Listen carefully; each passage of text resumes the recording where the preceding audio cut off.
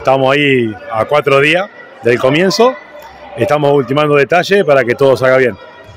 Contame, Walter, ¿qué, qué, qué detalles puedes contarme? ¿Cuántos equipos van a venir? ¿Cuántos chicos van a estar presentes aquí en este torneo? Tenemos ya confirmado la presencia de alrededor de 780 chicos, más o menos. Después equipo hay cerca de 60. Eh, ya está todo cerrado, confirmado y bueno, ahora esperando que llegue el sábado, el día del torneo, como para ya arrancar el torneo. ¿Clubes de toda la zona? ¿Hay alguno que sea de más lejos o son todos clubes de aquí de la, de la región?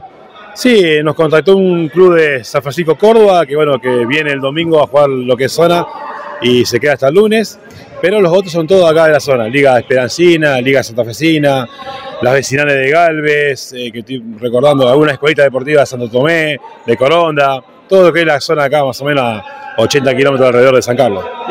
Para ustedes es una experiencia totalmente nueva organizar un torneo grande de alguna manera, así que me imagino que el desafío también es grande.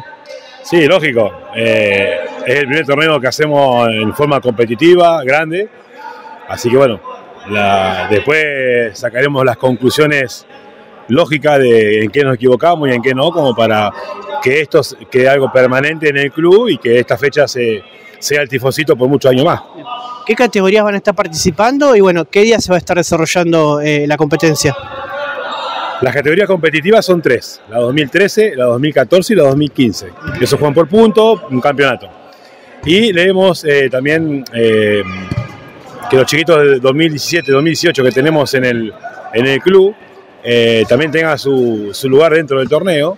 Entonces lo sumamos lo que es el día sábado y domingo en un encuentro. Esto sí, sin punto, eh, sin árbitro, con, con, los profes más dirigiendo. Bueno, la verdad que tuvimos una aceptación eh, importante.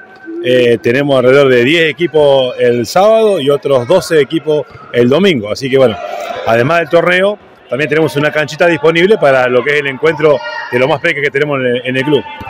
En cuanto a canchas, justamente, ¿qué, ¿qué, instalaciones van a estar utilizando? ¿Qué canchas van a usar? Bueno, hay seis canchas. En la cancha principal tenemos dos canchas, eh, ahí donde juega la categoría 2013, y eh, allá en el sector norte del predio, ahí hacemos cuatro canchas. Tres canchas para 2014-2015 y una cancha, como te decía yo, para los chiquitos de la 17 y la 18. Déjame mencionar la categoría 2016, que la pusimos junto con lo que era la categoría 2015, porque bueno, al haber pocos chicos en casi todos los clubes, agrupamos dos categorías para que puedan también jugar el competitivo. Bien. Y bueno, Walter, eh, en su momento hablábamos de obras que iban realizando, que estaban tratando de poner a punto el predio. ¿Está lo más lindo posible para poder recibir este evento? La verdad que está hermoso. Eh, esta lluvia de ayer lunes nos vino re bien. Hoy salió el sol, así que nos mejora lo que es el campo de juego, lógicamente. Hacía falta un poco de agua. Y después las instalaciones, bueno, ya estamos trabajando para que quede todo ok, que quede todo lindo. Eh, ahí vi que recién estaba armando el escenario para, para entrega de premios. Bueno, la verdad que estamos una expectativa enorme para que salga todo bien. Ahora a disfrutar de esta primera edición y pensar después para más adelante mantenerlo, ¿esa es la idea? Sí, sí, como te dije antes, la idea es que haya muchos tifositos por mucho más tiempo, hacerlo cada vez más grande, mejor.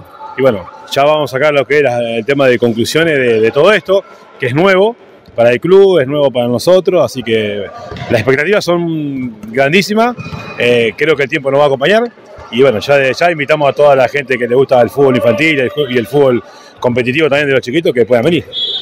Walter, bueno, muchísimas gracias y por último, si creas algún agradecimiento a la gente que apoyó, porque bueno, hay un esfuerzo muy grande por detrás, quizás vos sos la cara visible, pero me imagino que hay mucha gente.